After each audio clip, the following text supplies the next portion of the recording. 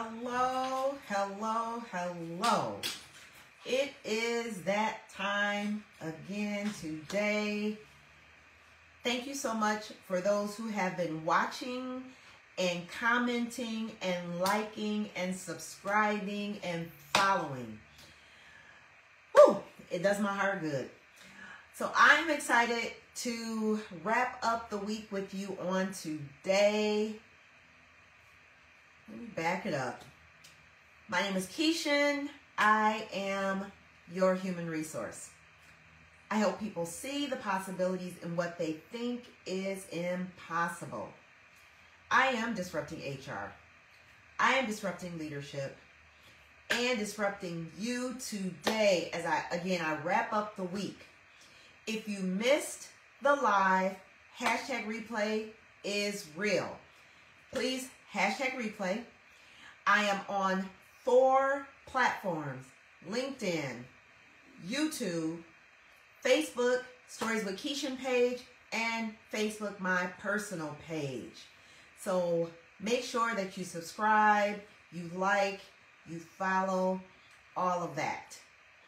I am not going to be before you long, but I do want to share as I wrap up and start preparing for next week. So, I quit my job in the fall, wrote a book, here I am, and what more is there? So let me just talk about it from this standpoint.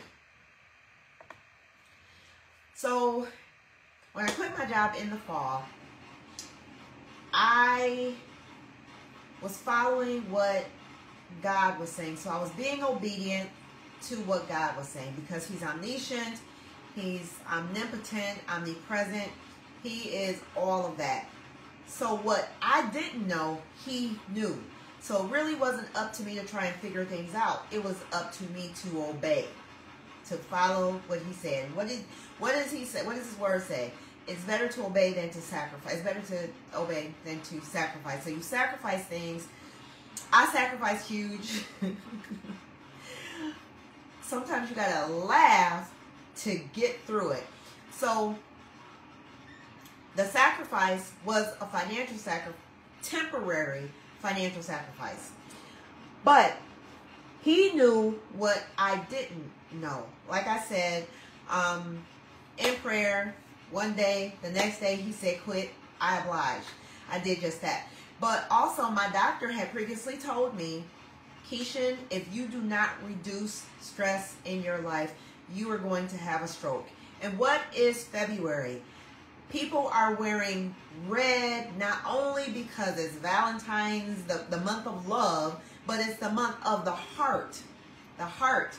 And heart attacks, strokes, all of that can be caused by stress. So my doctor told me that if I didn't reduce stress, I would have a stroke. And in addition to that, um, it runs in my family. So I listened, I obliged, and God spoke, and I moved. So I moved, and I quit my job. But what I didn't realize is that in this process, you know, you'll go through a process thinking one thing and come out with a lesson. Where they say uh, your your testimony, the test brings your testimony. That is coming. But God moved me beyond my comfort zone to the point where I have absolutely, unequivocally, I have to depend on Him for everything. Discomfort, uncertainty, all of that is in play right now, but I have to move forward. Why? Because there is the blessing is on the other side. How many times have you been in a situation that you did not want to be in. You tried to avoid it. You did not want to jump in the murky waters because you couldn't see the bottom of the pool. You could not see that the pearl was down there, that the diamond was being chiseled in the process of the discomfort. So here I am in the midst of that, pressing through. I remember I wrote a, um, for the longest, my uh, I don't know if it was my Facebook, my picture, or my um, cover page. It was a diamond. And that represented pressure.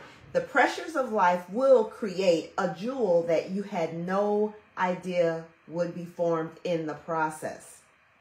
So I want to encourage somebody right now who may be thinking, it's just too much. The weight of this is too heavy. I cannot get through this. First of all, that's a lie. You can get through it. You have to press through it.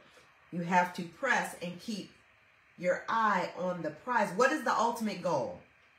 If you are in the middle of a situation that's uncomfortable, you are in the middle of an event that seems to be unbearable, seems like you're never going to get out of it. it. It's just the worst thing that you've ever happened. I think about some of the things I experienced in my younger days. You know, I keep forgetting how old I am. Um, but my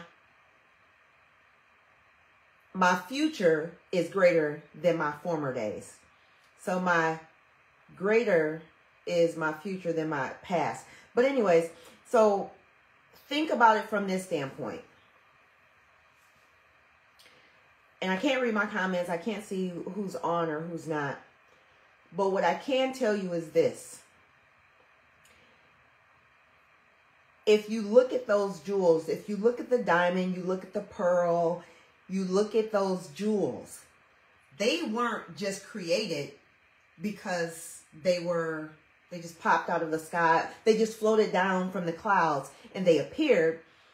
They were created with heat, with pressure, with discomfort. A pearl was, think about that grain of sand and it just kept going and it was just um, formed by that oyster.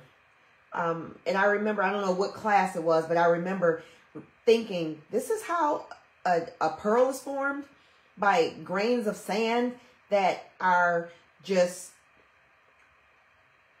um I don't want to say formed, but are just um, pressed together and over and over and over till they come up with this shiny pearl. Think about a diamond. A diamond is pressed so, and they're found in the deep parts of the earth in the deep parts of Africa where you have all of these beautiful diamond mines and and even when the gold, you know, during the I don't know if it was the 1849 or the 19 I'm thinking 1849 when people were rushing to California to find this gold because it it was covered in dirt. God is amazing. So anything that you go through, think about even plants and uh, fertilizer. It's dirt. It's poop. This is the grimiest, nastiest stuff, but it produces so much. When you are in situations and you feel like you being pooped on, you're being uh, just uh, dirt thrown at it, whether it's your your character, your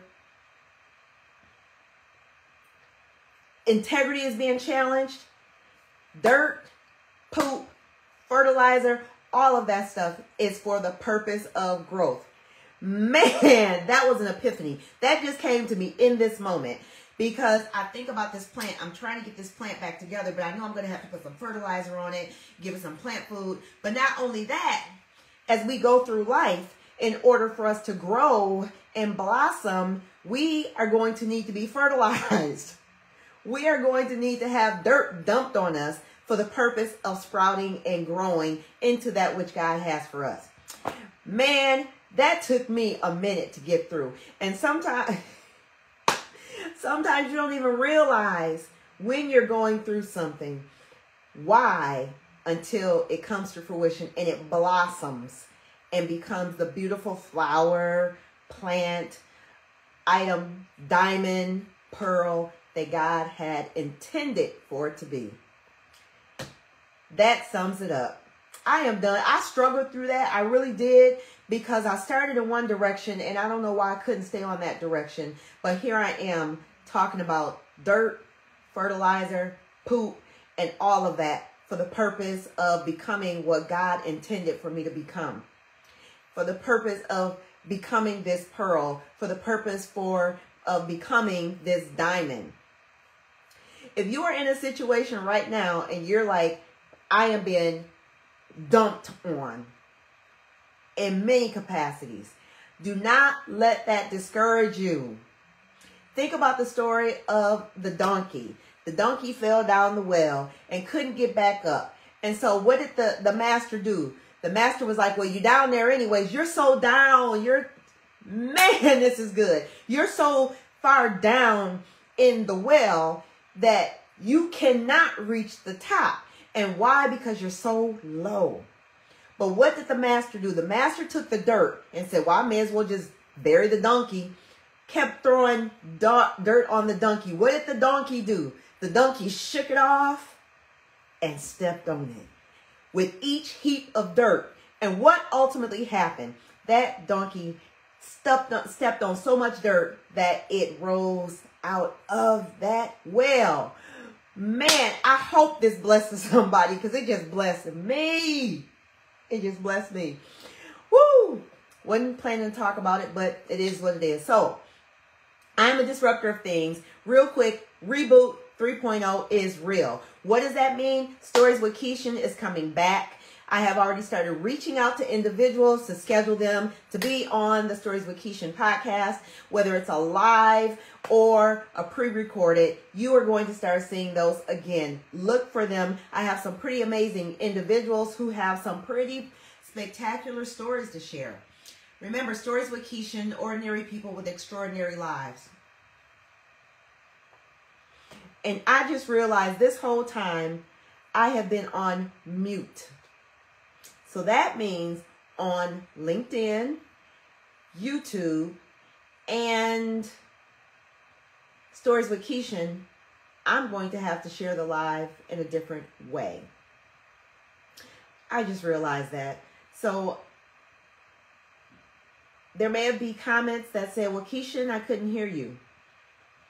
My bad. So I'm going to take the one that I have on my Facebook page and share it to the other pages because I did not realize I was on mute. So anyways, that's all that I have to share. When you are when people are throwing dirt at you, when they are pooping on you and you just can't figure out what to do, you just shake it off, step on it, and rise. Ah, that was good. So again, my name is Kishen. I am your human resource. I help people see the possibilities and what they think is impossible. I am disrupting HR. I'm disrupting leadership. And I'm disrupting you. I was muted on YouTube, LinkedIn, and Stories with Keisha Facebook page, but not on my personal page. So I'll be sharing that out. Again, hashtag replay if you did not catch the beginning. Until next time, until next week, next week Tuesday, I'll be back. Take care. God bless.